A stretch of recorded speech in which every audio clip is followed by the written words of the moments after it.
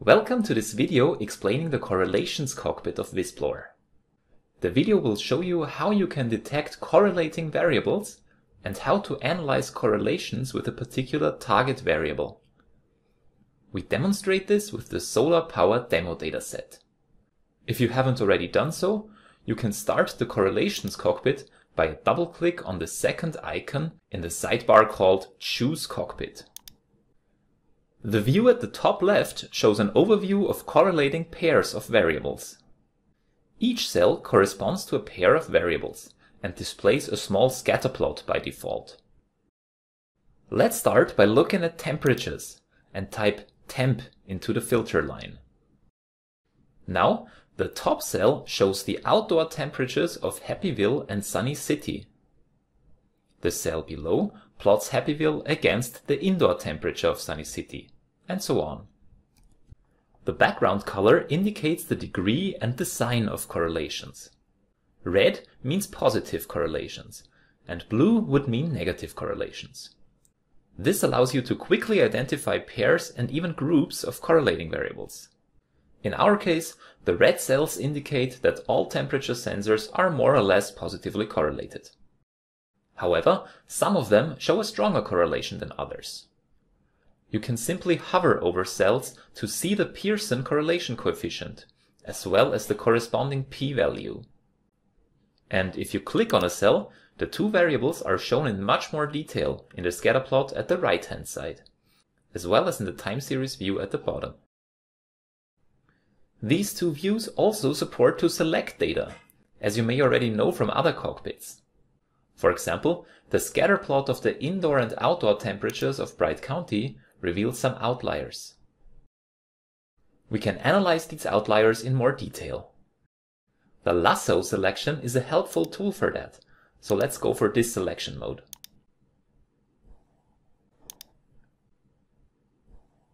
When you select data, the corresponding time periods are highlighted along the timeline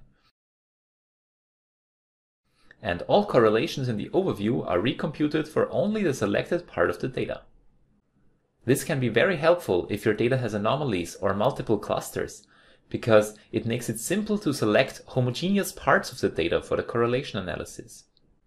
For example, we could select everything except the outliers to understand the correlation of the normal behavior. In many cases, you have a particular target variable and are interested which variables correlate with that target. For example, we could ask which weather sensors correlate most with the power generation of a particular region.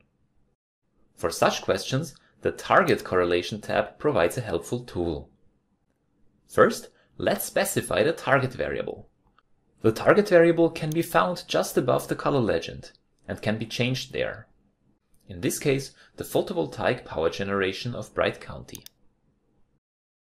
For a start, let's summarize the correlation of each variable as one correlation value and let's remove the subdivision of the x-axis for now. Finally, let's remove the filter for the temperature variables and look at all weather sensors instead. This generates a tidy sorted list where we can simply click through the individual correlations. As you might have expected, the solar radiation of Bright County shows the highest correlation with the target.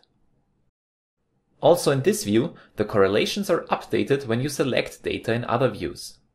For example, you can use the time series view to compute the correlations only for a certain period, such as October and November. In many cases, the correlation between variables is different for various parts of the data. For example, the season, the time of the day, or other characteristics may have an impact. Visplore allows you to break down correlations easily. First, let's clear our selection from before. Now, assume you need to assess if two sensors correlate consistently over time. All you need to do is to subdivide the x-axis of the view called target correlation, as you might already know from other Visplore views. For example, let's break it down by month. This shows that some sensors in fact have a varying correlation for different months. Now, this may arouse suspicion if the correlation is real and not just occurred locally by chance. In the very same manner, you could compare correlations for other types of data categories. For example, for each process mode of industrial sensor data. Finally, let's have a look at another interesting example. Clear the selection, return to the first tab, and filter to time series containing the word power and not the word model, because we want to exclude model time series for now. The previews now show some interesting plots with two spikes, so click on one of them. In this case, we are looking at correlations between the time series imported power and imported apparent power of Cloudington. There are both strong positive as well as strong negative correlations. We can switch off the regression line in the trend overlay options as the relationship is not so simple. The drill down block offers many options to break down this complex correlation. So let's expand it and switch to the heat maps tab. As the time series shows a cyclic pattern, let's assign hour to the x-axis of the heat map and day of week to the y-axis. The different colors across hours from left to right confirm that the sign of the correlation actually depends a lot on the time of the day. However, the day of week does not make much difference, so let's replace it by month. And here we are. The correlation seems to be very different whether or not there is solar radiation. During daytime, which starts earlier in summer, the blue cells show a negative correlation while during nighttime, the correlations seem to be strong and positive. With this example, we conclude this video about the correlations cockpit. You have seen how to identify correlating variables, find correlations to a specific target, and can break down complex correlations. We hope the video was helpful. Please also check out our other videos. Thanks for watching.